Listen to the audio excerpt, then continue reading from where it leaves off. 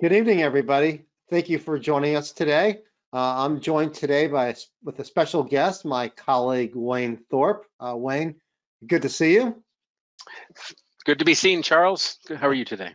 I'm doing wonderful. Uh, I understand uh, that you're the uh, victor of a small bet between uh, you and Derek Hageman on a sporting event, shall we say? yes, my my beloved University of Michigan Wolverines in the first game of the Big Ten season uh, thoroughly thumped the uh, Minnesota Golden Gophers. So yes, uh, Derek and I had a, a small wager on that. We still have to uh, figure out what the what the ultimate payment is, but uh, at least I was able to relish that. And then Michigan went and laid the egg the following week against that team from East Lansing. Well, I think perhaps next week Derek uh, should be required to be dressed in full Michigan colors uh, much better than that uh, the auburn and gold or whatever color that they may have. So yes, nothing nothing beats the maize and blue. well, today Wayne's going to talk about our A plus investing service and some of the great enhancements we made. So I don't want to take anything away. So Wayne, it's it's all yours, and I'll be sitting well, back you, uh, monitoring questions. Well, thank you, Charles, and uh, thank you for uh, for actually standing in for Derek this evening and serving as tonight's moderator. And uh, thank you also to Ryan, our, our man behind the scenes, uh, sort of uh, pulling the strings. Uh, these this is definitely a group effort, so I appreciate both of your efforts this evening. and welcome everyone to tonight's episode of AAII's Webinar Wednesday. my name is Wayne Thorp. I'm the Senior Financial Analyst at AAII, and I want to thank all of you for joining me this evening. Luckily, you know, there's not much going on in the world, nothing too exciting to uh, to divert your attention. So uh, you can sit back and relax this evening, and hopefully you'll learn a few things. Uh, tonight, I will be talking about some of the new and exciting features of A Plus Investor that we've recently rolled out as part of our ongoing efforts to provide a powerful and intuitive service for AAII members. Uh, my plan this evening is to speak for about 30 to 40 minutes uh, and then open things up to questions from you, uh, our attendees. Uh, so please feel free to submit questions through the GoToWebinar control panel, and Charles will be monitoring this uh, questions feed uh, and then uh, be uh, submitting them to me uh, at the end of my end of my talk. So nearly two years ago, I started working on a project to help build a singular service for AAII members that combined elements of financial planning, stock, mutual, and ETF discovery, selection and analysis, as well as portfolio tracking, asset alloc- and asset allocation analysis. The result of that work was A Plus Investor, which we launched the beginning of this year. And we've been very pleased with the response year to date. Uh, and all, actually, we have over 5,500 subscribers uh, currently to A Plus Investor. But for those of you that are watching this evening that may be relatively new to A Plus, uh, let me just spend a few minutes giving an overview of what you get with A Plus Investor. So when we set out to build A Plus Investor a couple of years ago, our goal was to create and design a service that answers many of the questions, common questions that we get from our members. And this includes, how can I select, analyze, and sell investments following a sound objective framework? How do I build, track, and manage a diversified portfolio that fits my own needs? As well as how can I identify investment strategies that fit my time horizon and my risk tolerances. Well, to that end, A Plus Investor is a multifaceted online investment discovery, analysis, tracking, and planning service, offering not only portfolio tracking and analysis, but also stock, mutual fund, and ETF discovery and analysis. Since we launched A Plus in January, A Plus Investor in January, we've been receiving a steady stream of user feedback and comments regarding the functionality and the usability of the service. And I personally, as project manager for A Plus Investor, I spent a lot of time reviewing these comments and then prioritizing them so we can use them to make meaningful changes, changes and enhancements to benefit subscribers. After I collected a lot of information and do a lot of uh, specification design, wireframing, things like that. I then work with the talented team of programmers that we have here at the association, and together we bring these enhancements to fruition. Two of the recent changes and enhancements that have been garnering a lot, great deal of positive feedback with A Plus Investor are improvements to the A plus stock grade screener, as well as revisions to the A plus quality grade calculation methodology. And these two areas are going to be the focus of my conversation with you tonight. Since we launched A plus Investor, one of the most popular elements have been the A plus stock grades. And these are five grades based on common investing factors that have been found to identify stocks that outperform the overall market for long periods of time. And these factors are value, momentum, growth, earnings estimate revisions, and quality. Unlike standard factors such as value and momentum, however, quality lacks a commonly accepted definition. Overall, though, the typical quality factor is a collection of metrics designed to capture the indicators of higher quality financials in companies. So after we launched our launched A Plus Investor with our first set of factor grade calculations, we started revisiting them and just to make sure that the underlying calculation and methodologies make sense, especially based on sound academic research and real world results.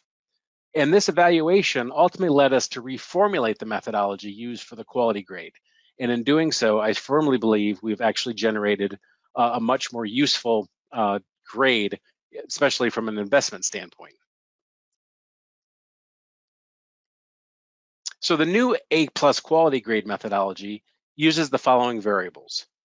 Return on assets, which is a measure of management's efficiency using companies' assets to generate income return on investment cap invested capital, which is a measure of how well a company is using all of its sources of capital to generate income. Gross profits to assets, which measures how well a company's assets are generating profits. Buyback yield, which measures the percentage of shares outstanding a company has repurchased over the last year.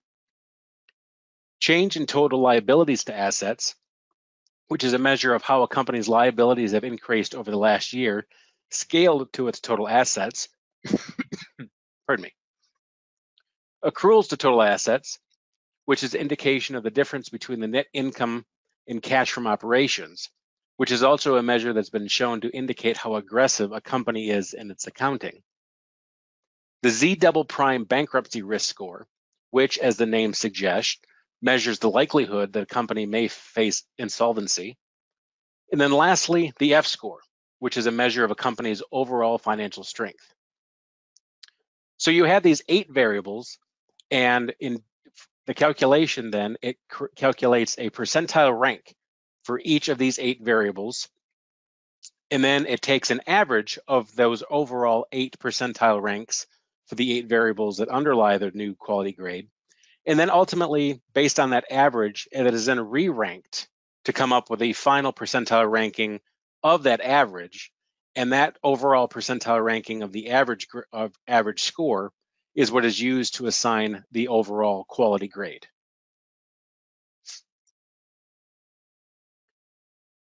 Now, obviously, to make sure that the new fields have a meaningful impact on the performance of the quality grade, we did perform some back testing of the stock universe over 21 years based on the quintile rankings of the new quality score.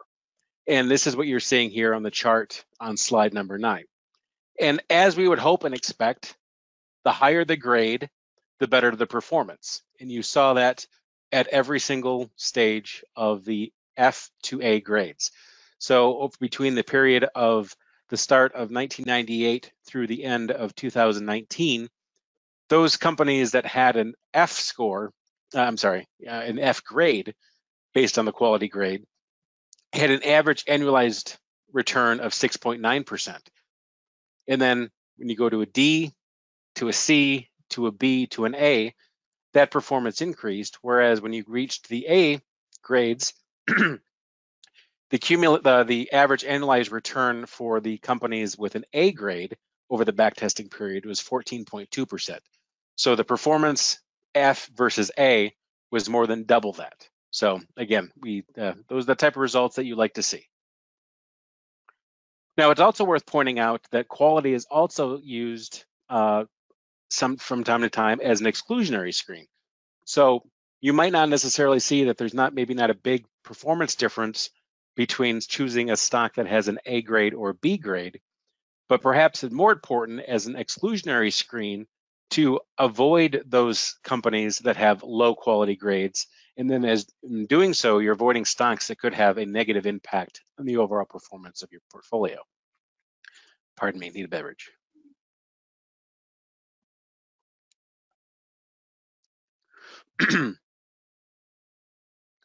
so the grades tab of the stock evaluator page has the quality grade breakdown for each stock in the A plus stock universe.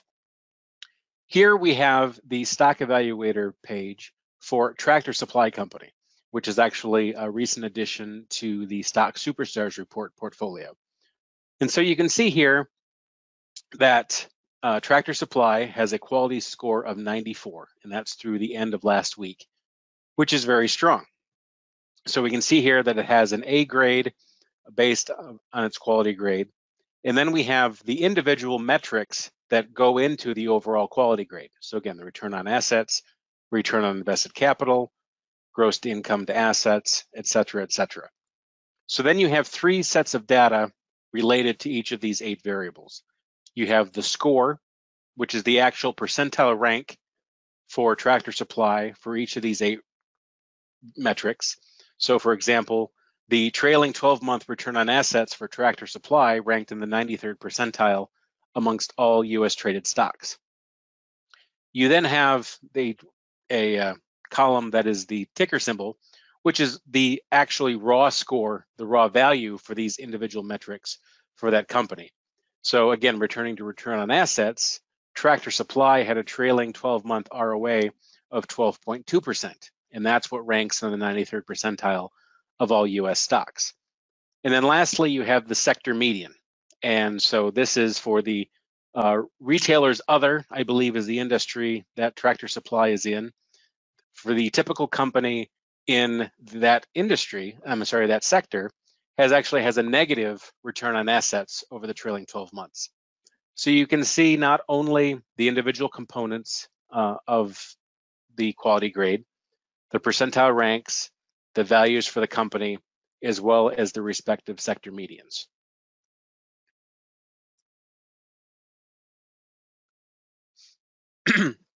so that concludes then the discussion of the revised quality grade. And now I'm going to pivot and talk about another set of enhancements that we've recently rolled out for A Plus Investor, and that pertains to the A Plus stock grade screener. Now with the stock grades, as I just showed you, uh, not only can you analyze the individual grades of a particular stock in the portfolio in the uh, stock universe, and you can use that using the search function at the top of the AAII website, but you can also use the A plus stock grade screener to isolate stocks that are exhibiting specific factor grades or grade ranges. Now, when we first rolled out A plus Investor back in January with the stock grade screener, you used to only be able to apply the factor grade filters to the entire universe of roughly 6,100 stocks. But over the last couple of weeks, we've rolled out enhancements that allow you to run stock grades that, pardon me. Sorry about that. Not only can you apply stock grades against the entire universe of stocks, but you now have the ability to run uh, these stock grade filters against a portfolio that you've created using the My Portfolio tool, companies that are passing one of AAII's 60 or so stock screen idea screens, or you can run these stock grade screens against the constituents of an individual sector or industry. So I think it's perhaps a little more beneficial, and uh, I always get a little hesitant, a little scary, scared when I do this, but I'm actually going to go live now uh, and provides you, uh, show you navigating uh, the AAII website and help you uh, show you how you can go about using these stock rates. So bear with me for just a moment. Going to exit out of PowerPoint. Uh, hopefully everyone can still see my screen and you should hopefully be seeing the A plus stock grades screener at aaii.com. And so actually how you go about accessing this area is you have the navigation bar uh, at the top of the website. If you go to the screening section and under stock screenings, you have the stock grade screener. and that will then actually load up. There we go. So now here you can see the A plus stock grade screener.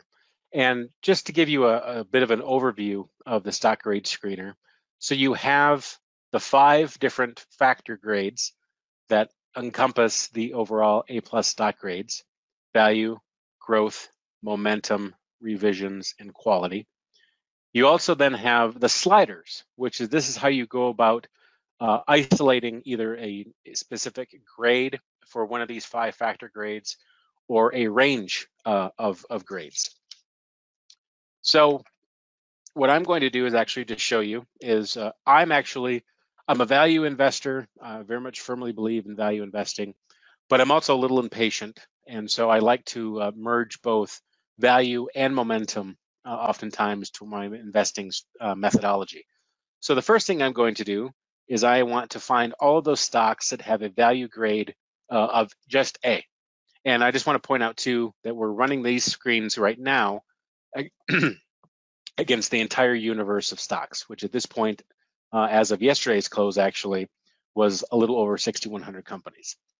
So since I want to be isolating those companies that only have a value grade of A, I'm going to move my slider from right to left, and you get the little hand and these these little balls that tell you where the range is right now. So it's what I call it wide open at the moment, where we're including companies that have A, B, C, D, F, as well as null values for the value. So I'm going to take this little slider ball on the right side, and I'm going to move it over where it's on the A. So by moving and isolating only those companies that have a value grade of A, we've gone from 6,121 companies, I do believe, down to 248. So almost immediately, we've we've significantly reduced the number of companies uh, that uh, we could be analyzing here. So beyond that, uh, I'm also then again sort of a value on the move. So I also want to find those companies that have a momentum score uh, of A. So like I did with value, I'm going to slide the slider ball from the right to left, move that over to A. And so from 6,121 companies, only 25 companies now in the stock universe have both a value grade and a momentum grade of A. And then just to round things out, I just want to make sure that all of the remaining companies have at least average grades or better for growth, earnings revisions, and quality. So again, moving the ball for the respective grades from right to left, I've just slid it over to C. So you can see, unlike with value, where it's only the ball is on A, that shows that we're only isolating those companies that have a value grade of A. At growth, we have a ball that the left side is at A and the right side is at C. So that tells us then where we're isolating companies with a growth score of A, B, or C. So we went from 6,100 companies down to 24. And as you move these sliders around, immediately below, you have a table that has all the companies that are passing your grade screen. So these are the 24 companies that passed uh, my value on the move, uh, if you want to call it such, uh, filter. And let's say I want to find out all those companies now that have the highest momentum. So then I use the ranking buttons, ranking toggle buttons on the momentum side of things. And so as of yesterday's close, uh, BlueLinx Holdings has a momentum score of 95, a value score of 16, with 16 being more attractive on a valuation standpoint, uh, a growth score of 64, an estimate revision score of 42, and a quality score of 93. So this is how you can use the uh, stock grade screener to run screens against the overall stock universe. Um, but I want to show you some of the enhancements that we've made recently that allows you to be more granular uh, and more specific in the universe of stocks that you're actually uh, applying these screens to. So the first thing I'm going to do is reset my stock universe.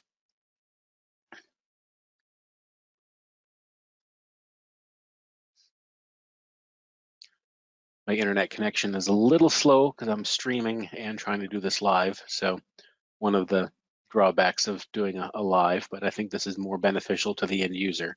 So I've reset my stock universe. I'm back at my 6,121 companies.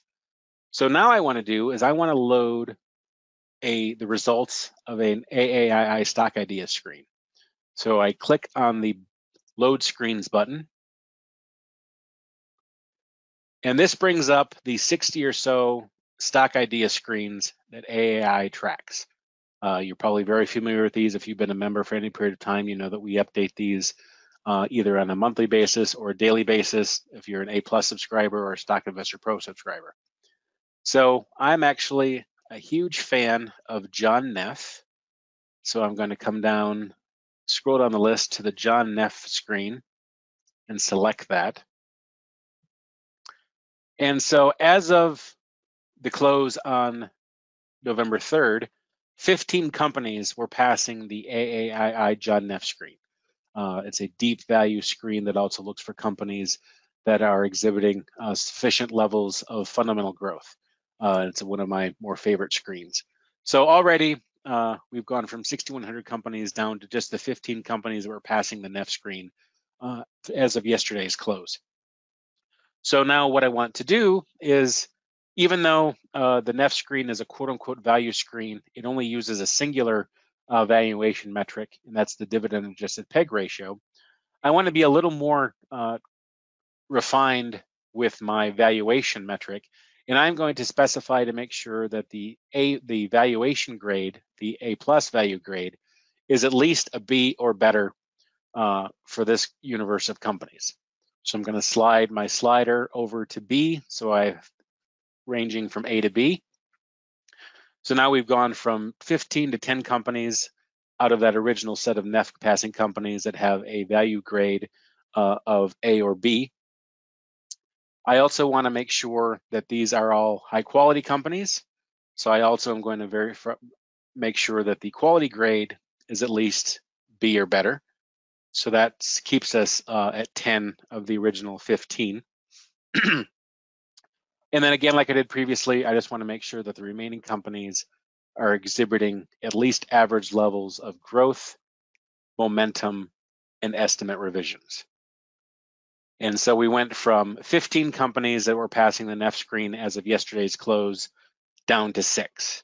And I'm actually going to rank these in ascending order by value. Again, lower is better from a valuation standpoint. And uh, let's see, we have Apogee Enterprises, uh, Sprouts Farmers Market, Triton International, uh, Pulte Group, Select Medical Holdings Corp, and Elemention Couche-Tard Inc. Probably just slaughtered that company name, and I do apologize to it.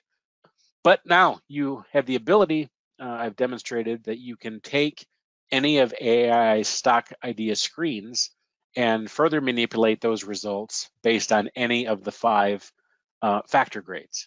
So uh, again, this is a, I think a very interesting and powerful tool where you already have stocks that are passing a given stock screen that are exhibiting uh, a minimum level of fundamental characteristics uh, tied to whatever set of screening criteria that the individual screen is using. But then you can also use these five factor grades uh, to further narrow down your search. So now the next step I want to do is again want to reset my universe of stocks. But now another element that you can now do screening, element of screening you can do with the stock grade screening is you can run these stock grade screens against a portfolio that you've created using the My Portfolio tool. So in order to load a given portfolio of stocks, and that's the key, is it has to have a portfolio that has to have at least one uh, stock in the portfolio because these are stock grades. So I want to load my port load a portfolio. So I click the load portfolio, and I'm going to select. Uh, let's see, the A plus challenge portfolio. This was actually a portfolio that uh, was based on the most popular holdings amongst uh, AAII members. Uh, that uh, some analysis we did a few weeks ago. So these were the 21 companies that were the most popularly held amongst AAII members in their portfolios. pretty diverse collection of companies. Um, but let's say this was a portfolio that I had set up, that these are 21 stocks that I already own. Uh, another way uh, that you might want to use the stock grade screener is to identify those stocks that might have uh, relatively low stock grades that might then warrant some additional evaluation to decide whether or not uh, you want to continue to hold them. So whereas before I was looking to have, you know, minimum levels uh, of, of value, growth, momentum, estimate revisions, and quality, now I want to see are there any stocks in this portfolio that have low values uh, that might warrant, uh, again, some consideration of whether we want to hold them. So let's start. Uh, so I'm going to start out by actually um, looking for only those stocks that have grades of C or lower um, in this out of this group of 21. So if I'm going to now moving my slider from the far left to the right to set up a lower threshold. And I'm going to start by setting that ceiling at C for all of the different quality grades. Well, luckily, uh, as of yesterday's close, none of the stocks in the portfolio actually had uh, a rating uh, of C or better across the board. So that's a good thing. So let's see.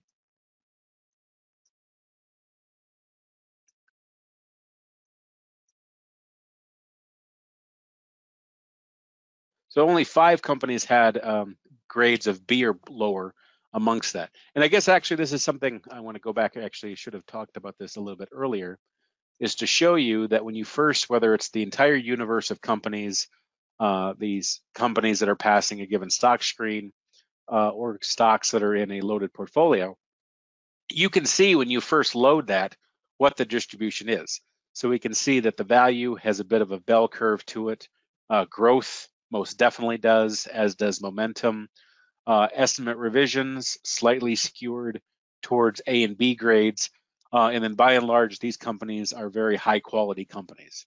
Uh, so that's uh, very good to see. But let's say, you know, I am a, let's see, let's look at those companies that have some low quality. And these are AbbVie, Bank of America, uh, and JP Morgan.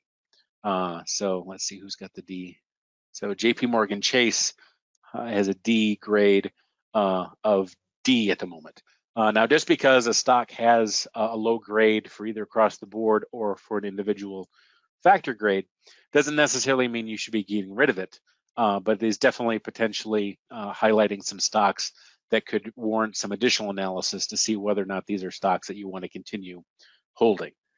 So we now have walked you through uh, how you can run a screen against the entire stock universe, as well as against uh, the results of an AAII stock idea screen, as well as a portfolio.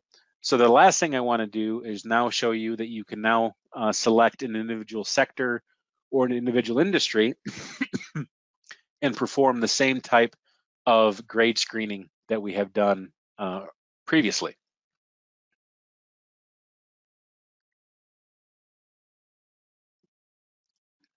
So I'm going to go to the sector drop down and I'm going to, let's select healthcare. So as of yesterday's close, uh, there are 1,148 companies in the healthcare sector uh, using the Refinitiv business classifications industry and sector designations. So we have a, a very large number of healthcare companies uh, in the sector that I've uh, chosen. So let's go through and let's uh, you know let's do some additional uh, manipulation here. So let's let's do let's do my value on the move criteria here again. Also want to be looking for so I want to be having uh, above average or actually strong or very strong value, momentum, and earnings quality. So we've gone from 1,100 and some companies in the healthcare sector already down to 20, just with these three uh, filters here. Uh, and then let's go back and apply average or better levels of growth and estimate revisions. So we've gone from over 1,100 companies uh, in the healthcare sector down to only 10. And so that's the beauty. That's what I really love about stock screening is you can start with, you know, in, in some cases, several thousand stocks. Uh, and, you know, with a few clicks of a button, you can literally narrow down the number of companies uh, that you want to perform some additional analysis on. So now we have uh, 10 companies. And let's see, I want to find those that are exhibiting high levels of growth. So DLH Holdings uh, has a value score of 32, again, lower the better, growth grade of 79, a momentum score of 87, a estimate revision score of 41, and a quality score uh, of 67. So you can load a particular sector and do some additional screening against it. And then lastly, if you want to take it one step further and get a little more granular as far as the company focus or uh, the operational focus of a given company, is we can then choose an individual industry uh, to perform some additional screens against. So let's see here. So you've got we've got about 130 industries to choose from. So it's a pretty pretty diverse collection. Uh, online services. Curious to see what these companies are. So there's 151 companies that are in the online services uh, industry desi designation of online services based on uh, TRBC class classifications. So let's see. I'm interested in finding those that are exhibiting some strong growth and strong estimate revisions. Just getting rid of the super expensive companies as far as valuation, and then let's set minimum. Actually, I'm going to average momentum or better, but I want to have high quality companies as well. So that's still leaving us quite a few. Let's, that's really interesting to me. Well, let's get really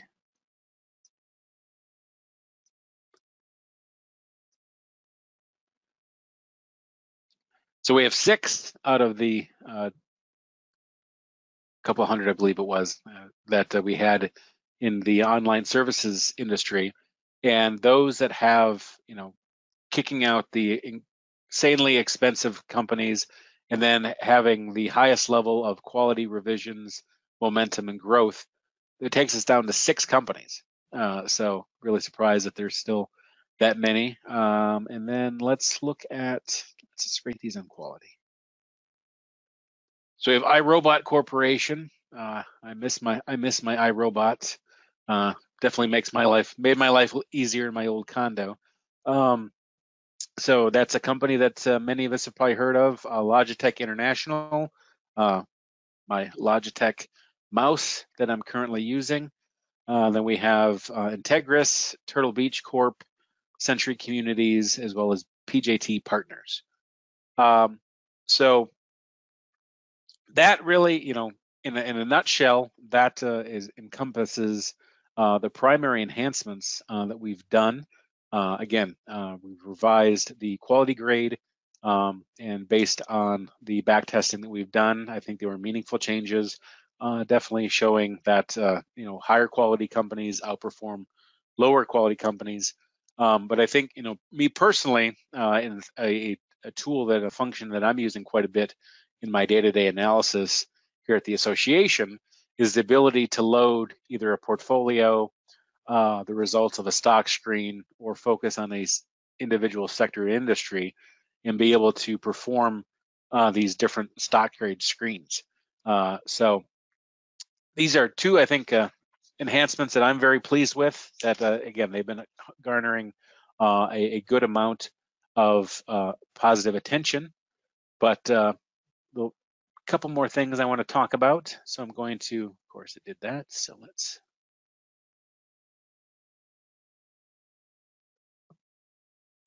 So as I said at the beginning, uh, that uh, you know one of the things I do on a regular basis, oh, one of the things the association actually does on a regular basis is to send out surveys uh, to our members, both discussing AAII membership as well as if they're subscribers to any of our premium products. Um, and so periodically we send out these surveys. And so if you ever receive any of these surveys, you know, if you haven't, I know that we're all very pressed for time and we respect that. Uh, these surveys literally take about two minutes to complete. And those couple of minutes that you take out of your busy schedule, we very much appreciate it. And those really you are performing an invaluable service to the association. Because uh, actually on a monthly basis, I sit down with the analysts at the association, as well as our marketing department and our member services departments. And we as a group review these surveys and we identify uh, ultimately those areas that we can be doing better at. Uh, and that helps us plan future improvements. So any feedback that you give, either you know uh, in the results of a survey, uh, I get emails all the time. Uh, I mean, I oversee as as as head of the uh, the RNA department, I sort of oversee all of our premium products. But then I'm uh, directly involved as far as the project manager of A Plus Investor, project manager for Stock Investor Pro, as well as the lead analyst and editor uh, of SSR. Uh, you know, I'm responsible for those products, but then all as as the overall group, uh, I'm constantly wanting to make sure that we're providing the absolute best products that we have. So your feedback, uh, you know, your feedback truly, oops, your feedback does matter. Uh, and so, you know, the time that you take uh, to fill out those surveys truly does us a tremendous service. And to that end, you know, again, we launched A Plus Investor at the beginning of January, and we have just received a flood of feedback. Uh, you know, we take the good with the bad. You know, ideally, constructive criticism is is the most valuable to us and the most welcomed. Um, but you know, there's also we have members out there that are brutally honest, uh, and I do appreciate that candor and honesty as well. Uh, but based on all that feedback that we've been collecting now since January, uh, these are some uh, future initiatives that we plan on tackling uh, in the coming quarters. Um, get to this comment quite a bit is we definitely could be doing improving the workflow when you're creating portfolios uh, or editing them using my portfolio. Uh, we also have gotten many, many, many, many, many requests to be able to directly import uh, brokerage account information, transaction data uh, directly from a broker into my portfolio. So that is something I actually am going to be working with our tech team over the next uh, month or two to look into the feasibility of offering that functionality. Uh, user-defined portfolio analysis. So right now with uh, my portfolio, you can only perform your diversification analysis and whatnot on your favorited uh, portfolio. But we're going to do some uh, analysis as far as the number of portfolios that our members have, how many, uh, the average number of portfolios that each member has, uh, things like that. And that will help us decide whether or not uh, it makes sense to improve that functionality where members can isolate or choose, you know, the individual portfolios that they want to include in that overall uh, analysis. Also in the process of, you know, doing some research as far as what are some common variables for uh, growth. And based on that, uh, doing some testing, we may be deploying a revised A plus stock uh, growth grade in the coming future. Uh, you know, it seems relatively innocuous, but we have the fundamental stock screening module. Uh, this is actually for those of you that have used or are using Stock Investor Pro, uh, this will actually serve as the first step into a completely redesigned from the ground up online version of Stock Investor Pro. But uh, right currently, we don't have a really robust fundamental screening uh, module of A plus or an online version for Stock Investor Pro subscribers. So this will be something that I think will be a. It's going to take several quarters, but I think you know the end product, even beyond that first initial step, is hopefully going to be a tremendous improvement over where we're currently at with Stock Investor Pro. And then lastly, a potential for a price alert or a stock grade, upgrade, downgrade email, uh, very similar to the weekly portfolio insights email that we're currently doing. Uh, so give users up, um, probably daily alerts as far as potential significant price movements, as well as upgrades and downgrades across the five different uh, A plus stock grades. So that concludes uh, my time as far as my discussion uh, this evening. Uh, so at this point, uh, I'm going to have Charles uh, rejoin the conversation. Uh, hopefully, we've been receiving some some questions, and uh, so Charles, uh, I'm ready to take some questions. Sure, great presentation, Wayne. we got several questions. I've actually categorized them. Um, I'm going to start off with one that actually, before we go everything you talked about, I've actually had two different people ask me about how they can screen ETFs and mutual funds. Um, there are ETF and mutual fund screening modules uh, in uh, A Plus Investor. Um, I'm just going to, I'm not going to go into it too in depth, but uh, if you come to AAII.com and if you go to screening, you have an ETF screener and a mutual fund screener at your disposal. And so this might take a little bit the bandwidth to the streaming. But yes, you have uh, the ability to filter these ETF and mutual fund universes that we track with A Plus Investor uh, along a whole variety of uh, category data categories. Um, so I would suggest maybe if you're relatively new to A Plus Investor, uh, we have both in the user guide and in the getting started guide uh, information on how you can go about using uh, these ETF and mutual fund screeners. So yes, you do have ETF and mutual fund screening uh, at your disposal with A Plus Investor. And you also, I'll just add, you have access to all the first cuts for the mutual funds and ETFs we've created. So uh, go back to the quality grade now. Um, mm-hmm. Daniel asked if he if there's any concerns or should he be concerned about any overlap between the F score and the other criteria used in the quality grade. The only overlap actually within the uh, the F score is uh, return on assets. Uh, return on assets is one of the uh, nine criteria of the F score. Otherwise, they are independent of the other variables that we're using. So uh, I don't feel that uh, there should be any concern as far as overlap amongst the F score and the other variables that we're using. Okay. Um, William wanted to know or wanted to confirm that all eight measures of the quality grade are equally weighted uh, in calculating it. Uh, yes, uh, they did. They are equally weighted, and actually, this is a variable calculation. Uh, in order to have a valid uh, quality grade, a stock has to have uh, valid measures for at least four of the eight underlying metrics. So let's say, you know, ABC Corp only has valid measures for four of the eight, then that overall uh, stock grade is derived from the average of those four variables that are valid, and then you create a rank based on that average score of the four of the eight. Um, and then uh, James wanted to know how he can use a quality score to identify stocks with strong balance sheets. Uh, I mean, generally speaking, uh, a company that has a high quality grade uh, is going to have a, a strong balance sheet. Um, you know, there's might not there's not as many uh, balance sheet related elements to it. Uh, you know, you've got change. Let's see. Let's go back. Let's do this.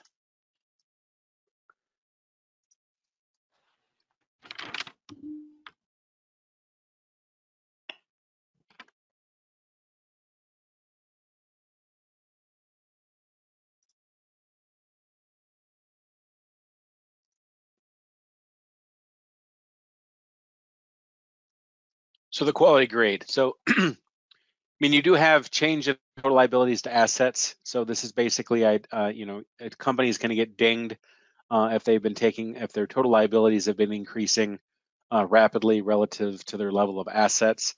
Um, you know, the Z double prime bankruptcy risk definitely is you know, companies that have poor balance sheets are typically going to be the ones that are going to be uh, have a greater risk of insolvency. So there's definitely some elements to the quality grade that should be able to help you identify companies that have uh, quality balance sheets. But overall, the, the the the intent of any type of quality grade is to identify companies that have strong financials.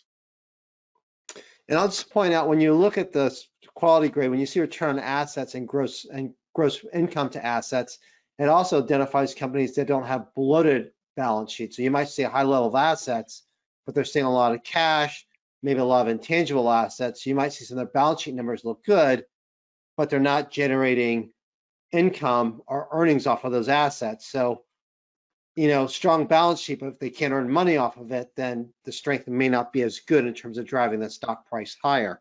Um, Absolutely, and uh, both strong strong balance sheets as well as uh, you know efficient balance sheets.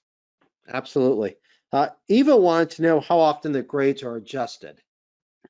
Uh, Eva, that's a great question, and actually that was on my notes. Uh, actually, uh, on a daily basis, we rerun all of we update our database, and all of these variables are rerun. So these variables are always updated every trading day overnight with data through the previous days uh, and close. So these are updated uh, five days a week, uh, the day after any trading day. Great. I'll bring on to the screener. I have one other question actually. Um, and that was someone was asking whether or not, um, yeah, uh, Douglas Douglas asked recently um, whether or not we'd consider having an intrinsic value calculation as part of the grade the problem i mean there's definitely there there are many different elements that can go into that um, you know intrinsic value is in my personal opinion is there's often there's there's a lot of art it's probably more art than there is science related to that and you know you can get some very basic intrinsic value calculations uh, but then you know in any evaluation that i actually use i use some actually pretty rudimentary uh, valuation models. Um, and inevitably, I get, you know, people sort of give me a little bit of a side eye as far as, you know, they think these are overly simplistic. So then people start thinking, well, it has to be more and more complicated in, order to be of any value. But then it starts to become garbage in, garbage out. So, you know, there's definitely, you know, all at the end of the day, uh, a, a PE, a PE ratio uh, is is kind of an intrinsic value calculator. You know, if you believe in reversion to the mean, so you can be comparing a historical PE, uh, a trailing PE to its you know five-year average or something like that. So there's some relatively simple valuation measures that you can be doing on your own. Um, so, but again, the question becomes, you know, how much data do you want to be uh, throwing into that, and really how much value is there to a to an intrinsic value? Because you know, very rarely does the stock price uh, and intrinsic value uh, actually intersect. Great, thanks, Wayne. Uh, regarding the screener, several questions about that.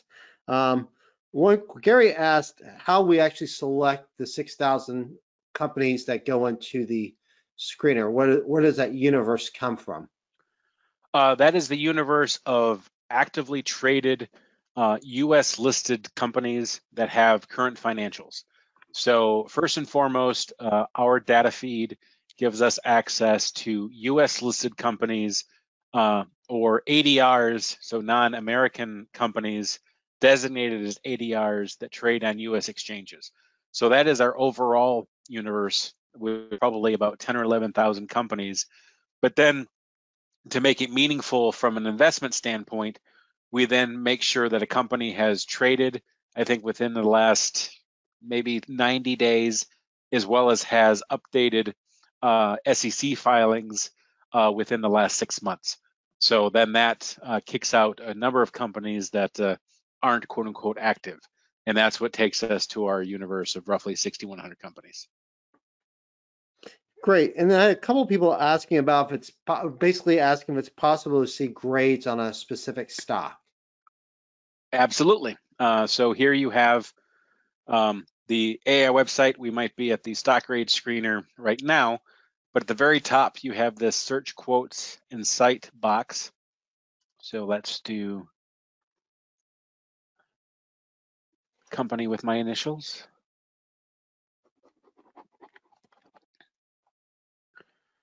And then so when that takes then, when you do a ticker search within the website, that takes you to the stock evaluator page for, for a particular stock and you have these different sub-tabs of that, including the grades tab.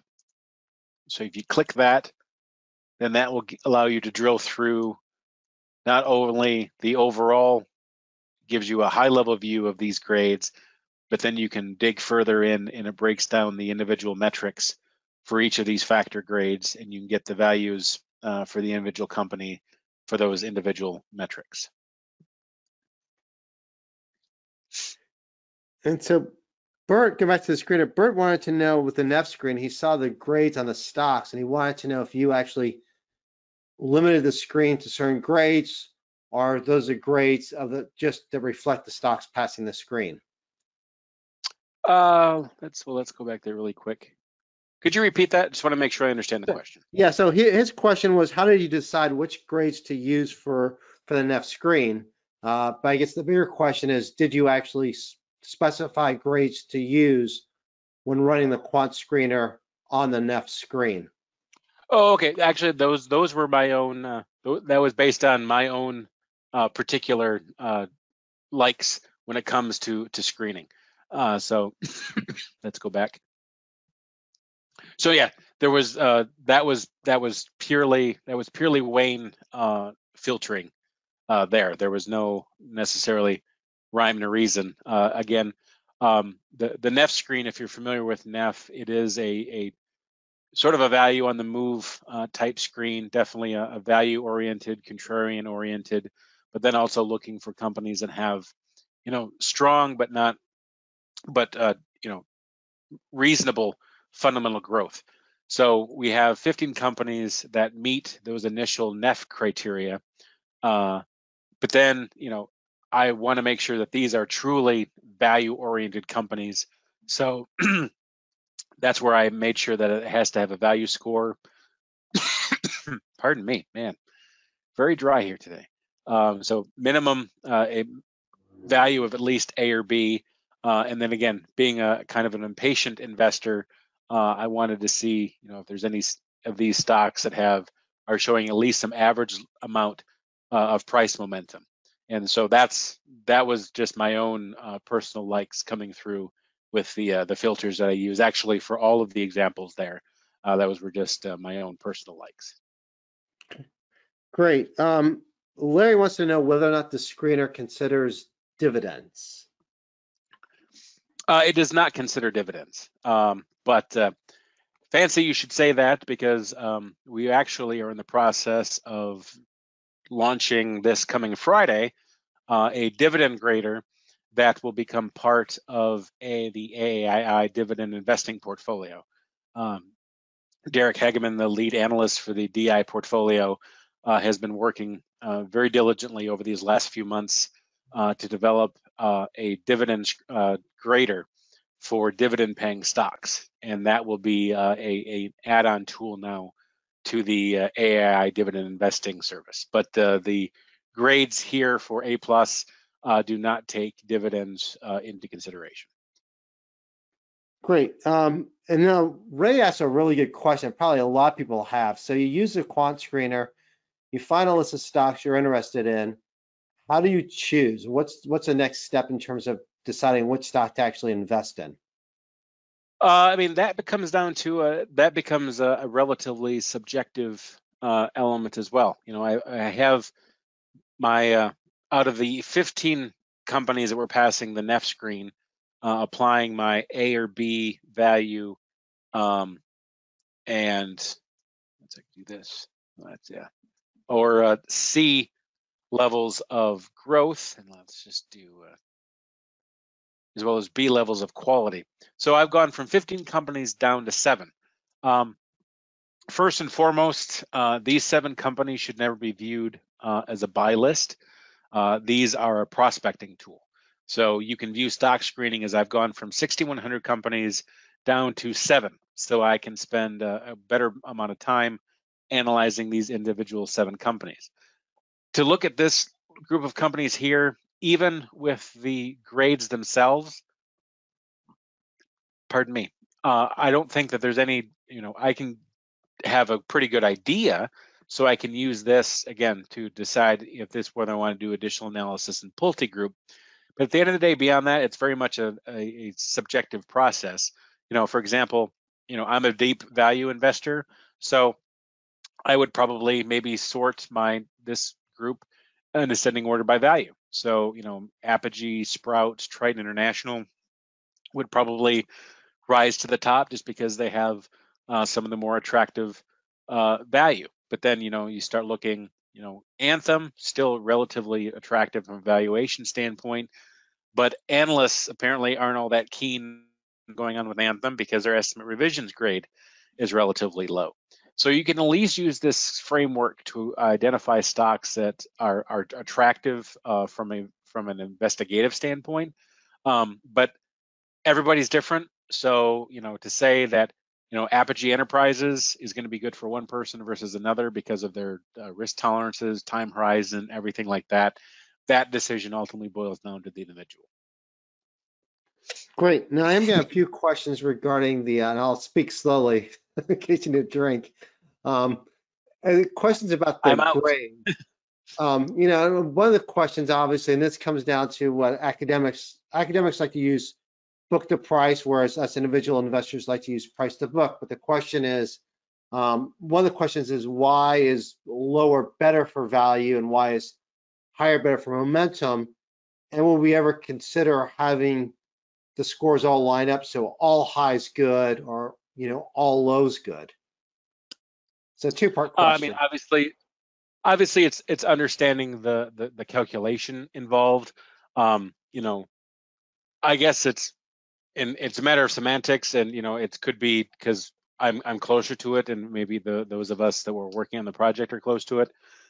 But I I find that there is some symmetry to when I'm looking for a low value company, and that I am more attracted to low value than in my mind a low value score would be attractive. Um, you know, obviously that means we have to convey that methodology uh, to the end user, uh, but that is where it comes into play. Uh, you know, to be to be honest, you know that I haven't gotten many comments or questions from people that have found that uh, confusing, but I can understand why potentially because we are then if you're looking at scores, better scores, higher the score, a better score. Uh, so I mean that's something we might uh, want to look into, but at this point in time, it's not anything that I, I believe is generating uh, widespread confusion. But uh, I, I totally understand uh, and appreciate uh, the comment. So that was the first part, Charles. There was probably, I think, another part that I did not get to or, or, or, answer. Yeah, so I, I think you did answer because the question was, you know, why are all the scores, you know, the same? Oh, just yeah, I got you. Okay. Right. And the other question obviously is why is it low, low good for value and why is high good for momentum? Um, so yeah, I mean, it's, I mean, if you're, if you're a value investor, the lower the score, that means it has a, a lower, you know, quote unquote, more attractive valuation. Whereas for everything else, you know, high growth, if you're a growth investor, higher technically is better. The same with, uh, you know, momentum, high momentum, uh, you know, high estimate revisions. So analysts are making significant changes uh, to the underlying uh, consensus estimates as well as then higher the quality score, the higher quote unquote quality uh, of the of a company. okay. Um, Acton, we got one question here about where the the uh, members can actually find, uh, I guess, guides for using A plus, and are there PDF versions of those guides? Um, so if you come to the website, you have the yellow a plus investor tab here. We have the user guide. And to answer the second part of the question, these are not in PDF form. Um, you also then have a getting started guide. And then each week I put out an email called Making the Grade that uh, will tackle some educational or, or financial topic uh, and then tie that back into the resources that are available uh, with A Plus Investor. Uh, so we do have a, a tremendous amount uh, of user resource content uh, and onboarding content, um, but they are not in PDF forms. But I believe that they should be all set up to at least make them friendly if you want to print them out from a web page. Great. And then we've actually got some some comments and questions regarding my portfolio. Um, if you have a few more mm-hmm. minutes. Um, sure. One question, and this is maybe tied to my portfolio, but other parts too. Um, if someone wants to look, Nancy wants to know, she's looking at sectors, how can she tell which stocks are in each sector? Um,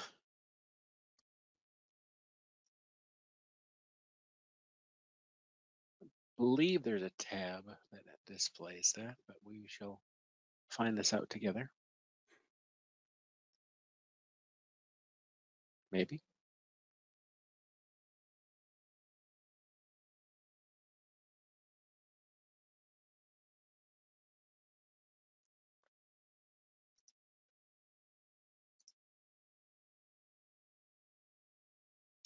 Uh, so when you're at my portfolio and you load a given portfolio, there is a fundamentals tab uh, that has stock industry or fund category. So you're able to find that if you want to look at the overall designations within a given portfolio, then you also have,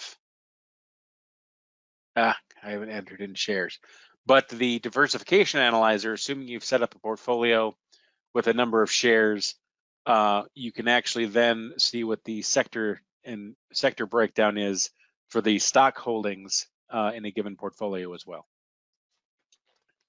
Okay. And uh, John was asking if it's possible to see all his portfolios in aggregate versus having a portfolio by portfolio. Uh, that was actually the one of the one of the enhancements or, or one of the pro future projects that we're considering is having users either you know select analyze all portfolios uh, or be able to basically pick and choose the individual portfolios that they want to include for analysis.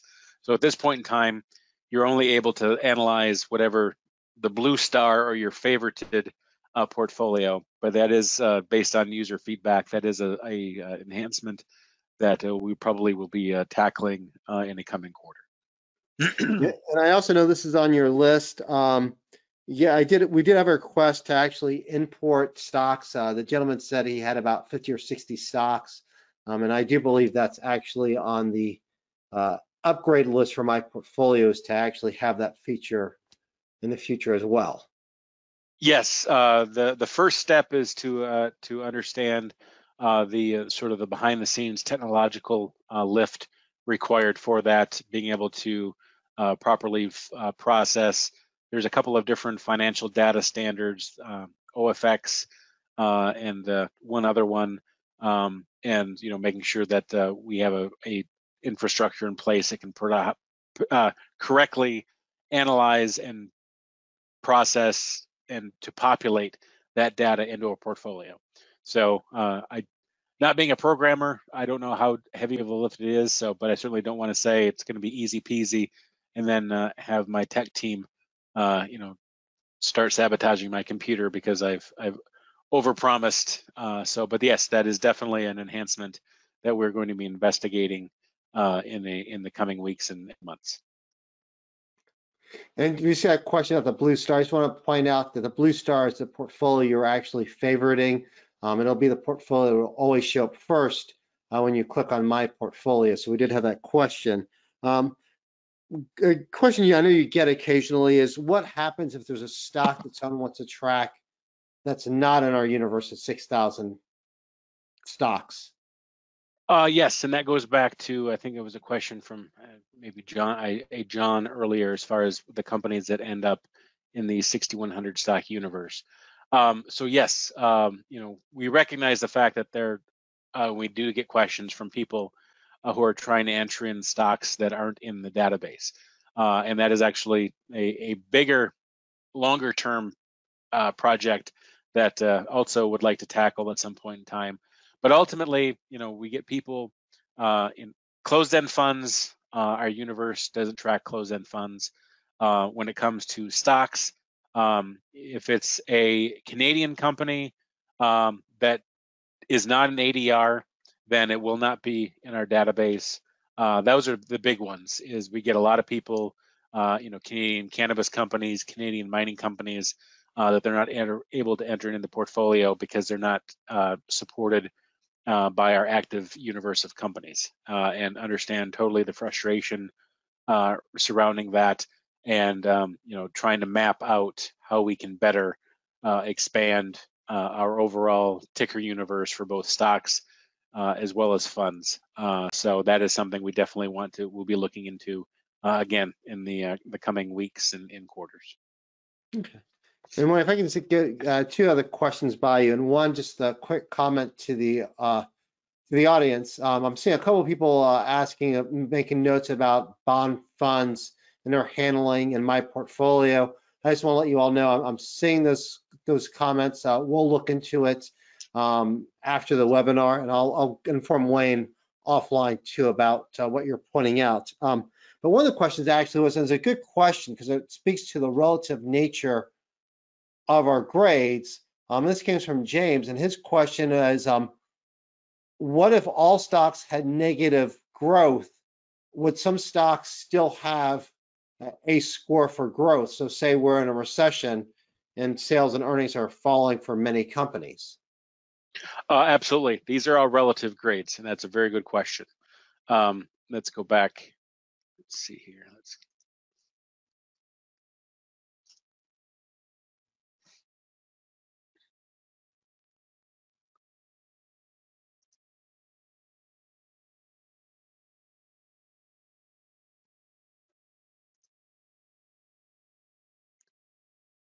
So we'll go back to, so we have the, here we have the quality grade um, for Apple.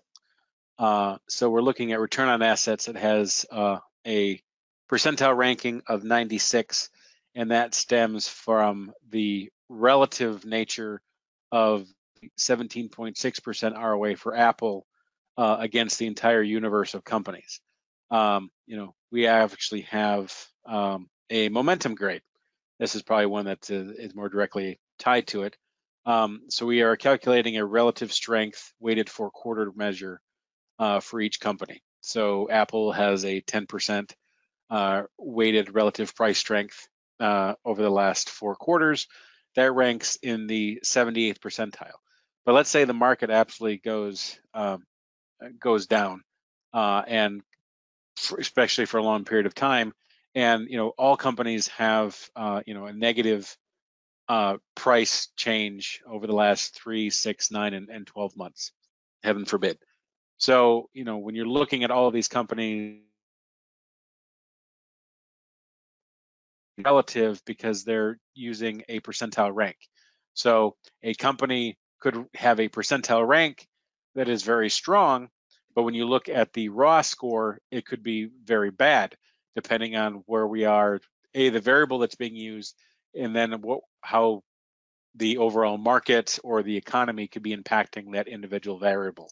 So yes, uh, you know, absolutely, you could have a company that grades out as an A, uh, so it's very strong relative to uh, all of the stocks in the stock universe. But depending on the variable you're looking at, it could be very poor on an on an individual company basis.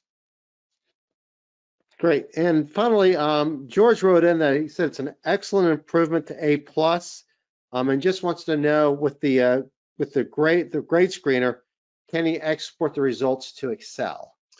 Uh, that is actually uh, also near the top of uh, my personal wish list uh, going forward. Uh, at this point in time, that you don't we don't have an export function, and I must admit that's a, a glaring omission on my part uh, as we were putting the finishing touches on this product. So I, take full responsibility for that. Uh, but George, absolutely, that is some uh, functionality. And actually, I was going to be reaching out to my tech team uh, probably either later today or first thing tomorrow morning to get an idea of how easily it would be to to add that uh, export button. So again, listening, noted, and hopefully implemented uh, much sooner rather than later.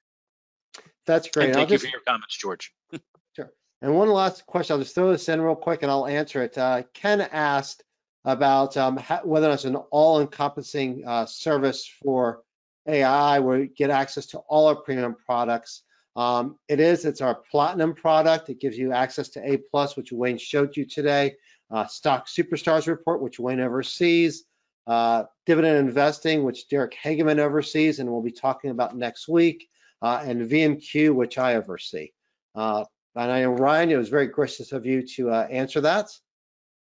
Yeah. Um, yeah, so uh, if people are interested in um, looking for that, the service is called AAII Platinum. Uh, you can find it on our website. Um, so with that, uh, I wanted to thank uh, both Wayne and Charles for their time tonight, and I want to thank all of you for uh, attending tonight's webinar. Replay of the presentation will be available tomorrow on our YouTube channel, along with links to tonight's handout and to some of the resources discussed, um, and that will all be sent to your email address since you registered. Uh, we do have some upcoming webinars to highlight, which you can sign up for as at the URL you see there, www.aaii.com slash webinars. next week, Derek Hageman is going to be talking about the secrets behind AAII's new dividend grader. It's uh, you'll want to tune in if you are uh, interested in uh, dividends. Uh, that's now November 11th, 7:30 uh, Central. And uh, the following week, we'll be rebroadcasting the original webinar about A Plus Investor Idea Discovery Made Simple. This is intended as an introduction to the service for folks who um, didn't necessarily uh, get enough information about it tonight or the, the new features. Um, so yeah, uh, we also have some more webinars uh, coming up in November, or excuse me, in December. And uh, like you to stay tuned. Uh, you can follow uh, all of our stuff at www.aaii.com slash webinars. And with that, we wanted to wish you all good health and good wealth. Good night, everybody.